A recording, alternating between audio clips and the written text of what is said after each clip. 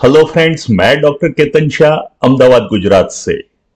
इस वीडियो में मैं बात करूँगा होम्योपैथिक मेडिसिन, स्टिक्टा पल्मोनेरिया। उसके बारे में बात करूँगा। ये मेडिसिन ज़्यादातर साइनस नाक बंद होना, खांसी और रूमेटिज्म पे इफ़ेक्ट करने वाली दवाई है। अगर मैं उसके नो सिम्टम्स बताऊँ तो कभी आप, आपको सर्दी हुई और कोई दवाई ले लिए जिससे सर्दी बंद हो गई, लेकिन वो डिस्चार्ज सिर में भर जाता है। ऐसा लगे कि ये पूरा भारी भारी लगता है, यहाँ ब्लॉक लगता है। ऐसा कुछ लगे कि अगर छींक आ जाए या कुछ निकल जाए तो मेरा सिर हल्का हो जाए। तो जब भी ऐसा सिर भारी नोज़ ब्लॉक और ऐसा फीलिंग आए कि कुछ निकल जाए तो अच्छा लगे, लेकिन नोज़ ड्राई ड्राई रहेगा। नोज़ में कुछ पानी के ऐसा कुछ नहीं लगेगा, लेकिन ड्राई फीलिंग आएगा। तो सिर दर्द के साथ ड्राई फीलिंग ये उसके सिम्टम्स है और नाक बंद हो जाता है। ये खांसी, अस्थमा, इसकी बहुत अच्छी दवाई है। खांसी कब होती है? ज़्यादातर लेटने पर या रात को उसको पेशेंट को खांसी होती है। दिन भर कंपेरेटिवली ठीक रहता है, लेकिन रात को उसको खांसी होती है। सुबह उसको लूज कफ निकलता है मॉर्निंग में। और ये पेशेंट को मीजल्स के बाद खांसी होती है। दूसरा कि अगर आपको फ्लू हो गया इन्फ्लुएंजा का बुखार आ गया और बुखार के बाद खांसी हो जाए, इसकी भी बहुत अच्छी दवाई तो अस्थमा और खांसी की बहुत अच्छी दवाई है। और एक रूमेटिज्म की दवाई है, जिसको वा बोलते हैं। अगर आपके जॉइंट्स में पेन हो और उसको हाउस मेड नी बोलते हैं, वो क्यों हाउस मेड नी है और उसके डिटेल में सिम्टम्स क्या है, वो मैं पीपीटी के थ्रू फिर से मेडिसिन पूरी बताता हूँ। तो जिसको भी डिटेल में स्टडी करना है और कौन सी पोटेंसी में दवाई लेना चाहिए, ये मैं, आपको आगे वीडियो में दिखाता हूँ। तो आप बने रहिए मेरे साथ पूरी मेडिसिन के बारे में जानकारी लेने के लिए। पल्मोनेरिया होम्योपैथिक मेडिसिन उसको लंग्स फ्रूट भी बोलते हैं। क्यों बोलते हैं मैं बताऊँ आपको? ये उसका प्लांट है। ये प्लांट में से ये स्टिक्टा नाम की दवाई हम स्टिक्टा पी बोलते हैं, वो जनरली बनती है। अब आप देखो कि एक साइड ये प्लांट है और दूसरी साइड लंग्स के टिश्यू है। तो क्लियर कट आपको ऐसा ही लंग शेप के उसके प्लांट है और ये दवाई लंग्स पर ही इफ़ेक्ट करने वाली मतलब अस्थमा और कफ पे इफ़ेक्ट करने वाली दवाई है। तो प्लांट का भी पिक्चर हमारे लंग्स के पिक्चर्स के बराबर, उसके एक्सरे के बराबर है। कौन कौन से डिज़ीज़ में ये मेडिसिन काम करती है? तो आप देख सकते हो कि अगर किसी को सोर थ्रोट है, आवाज़ बैठ गई है कोल्ड है कफ है, या सर्दी है ब्रोंकाइटिस है अस्थमा है, ऐसी कंडीशन में दवाई बहुत अच्छे से काम करती है। फ्लू है फ्लू के बाद मैंने बोला कि खांसी होती है यहाँ हाउस मीड ने लिखा है तो हाउस मीड ने क्या है? हे फीवर मतलब एलर्जिक कंडीशन में ये दवाई बहुत अच्छा काम करती है। खांस मीजल्स के बाद जो खांसी होती है, उसमें बहुत अच्छी दवाई ये काम करती है। और ये ओजीना ओजीना मतलब क्या, जो नाक में से सिक्रेशन होता है, और ये सिक्रेशन की वजह से नाक में से स्मेल आना, या तो यूँ बोल सकते हैं कि वहाँ काफ़ी चेंजेस हो चुके हैं। खास करके डिस्चार्ज इतना ये होता है, जलन टाइप होता है कि उसकी वजह से अंदर नाक में पूरी तकलीफ़ हो जाती है। और एक पॉट्स डिज़ीज़, जिसको इंटरेस्ट है, मैं बताऊँ कि पॉट्स डिज़ीज़ क्या है। तो हमारी बैक में जब टीबी होता है बैक के बोन में तो उसकी वजह से पूरी जो स्पाइनल कॉर्ड है, वो कोलेप्स हो जाता है। इसको काइफोसिस बोलते हैं, उसका शेप चेंज हो जाता है। तो खास करके ट्यूबरक्यूलोसिस जो बैक का होता है उसकी वजह से ये प्रॉब्लम होता है। और उसका माइंड के बात करें, ये पेशेंट है ना, उसको ऐसा फीलिंग आता है कि मैं हवा हवा में फ्लोट कर रहा हूँ। और दूसरा, यहाँ एक अच्छा सिम्टम्स है कि पेशेंट को बात करने की बहुत मन होता है। About anything and everything कोई भी बात करेगा, चाहे वो सामने वाला सुने या न सुने, लेकिन उसको बोलने की बहुत आदत है। उसकी टंग कभी बंद नहीं रहती है। हमें यहाँ लेकेसिस नाम की दवाई याद आएगी कि होम्योपैथिक में लेकेसिस ऐसी दवाई है कि ग्रेट लोकेसिटी है। इस तरह से आप स्टिक्टा में भी देख सकते हो कि सामने वाला सुने या ना सुने, बस पेशेंट को तो बोलते ही रहना है। सिर के सिम्टम्स मैंने बताया कि सिर भारी रहता है और ये सर्दी रुक जाने की वजह से डिस्चार्ज होने से पहले हेड एक होता है। पेशेंट को ऐसा लगता है कि डिस्चार्ज हो जाए तो अच्छा है, मेरा सिर हल्का हो जाए और यहाँ रूट ऑफ़ द नोज़ में प्रेशर फील करता है पेशेंट और पेशेंट को ऐसा लगता है कि आवाज़ सहन नहीं होती है नौशिया वॉमिटिंग होता है, बस सो जाओ। ये ये पेशेंट में एक फ्लू टाइप के सिम्टम्स है कि खुद को बीमार महसूस करेगा और ऐसा लगे कि बस मैं लेटा रहूँ, सर्दी की वजह से मुझे कुछ चैन नहीं होता है। नोज़ के सिम्टम्स मैंने बताए इस तरह से है कि ड्राइनेस है। आप यहाँ काली बीच से कंपेयर कर सकते हैं। काली बायोक्रोमिक में क्या है? उसमें भी नाक बंद है, वो भी साइनस की बहुत अच्छी दवाई है।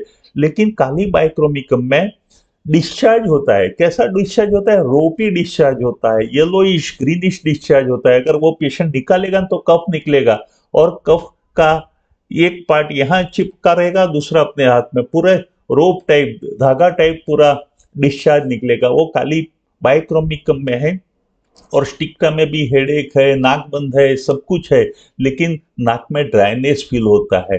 पेशेंट निकालने की कोशिश करता है, लेकिन निकलता नहीं है।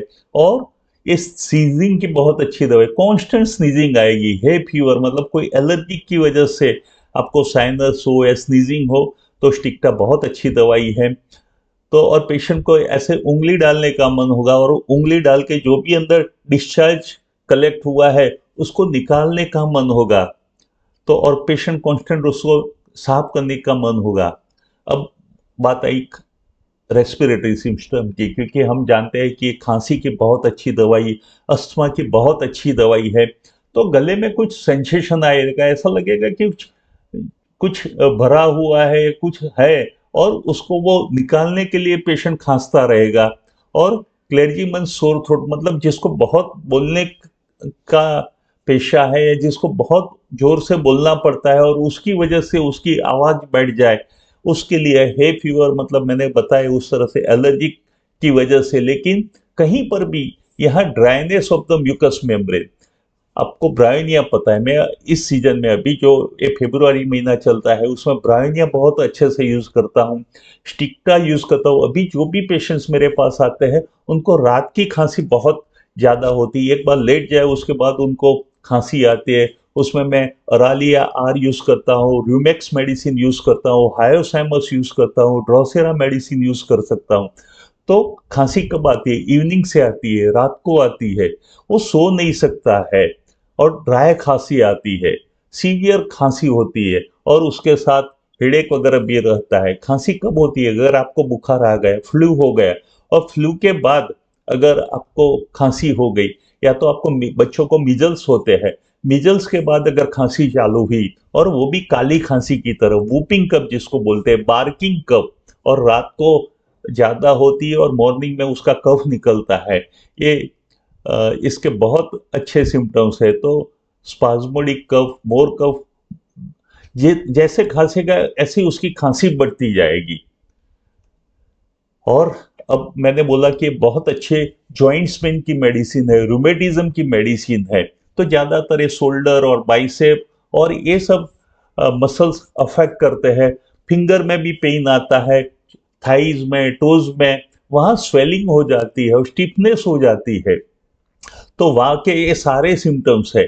और उसकी वजह से जहाँ भी वहाँ की इफ़ेक्ट हुई हो रिमेटिज्म की इफ़ेक्ट हुई हो, वो जॉइंट्स में इन्फ्लामेशन आ जाता है रेड हो जाता है।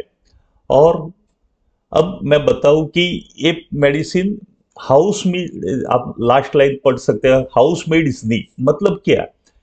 आप ये पिक्चर देखोगे तो पता चलेगा कि लोग जिसको अगर घर में नीलिंग करके काम करना पड़ता है, खास करके के जो पोछा वगैरह करते हैं, उनको नी कॉन्स्टेंटली अफेक्ट होता है, उन पर प्रेशर आता है और प्रेशर की वजह से वो जॉइंट अफेक्ट होता है। आप देख सकते हो कि इस तरह का जॉइंट हो जाता है।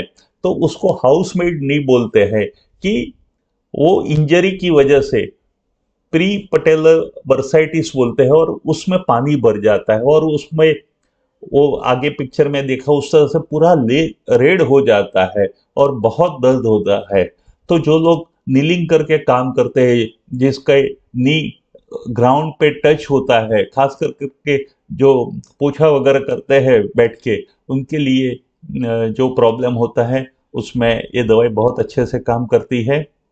और भी क्या दवाई है जो हाउस मेड नी में यूज़ होती है तो benzoic acid calcarea fluor iodum mercurial, silicea, इस तरह की बहुत सारी सेवनटीन मेडिसिन है कि जो इस तरह का हाउस मेड नी मतलब नी पे इंजरी होने की वजह से वहाँ पानी भर जाता है, उसमें यूज़ होता है।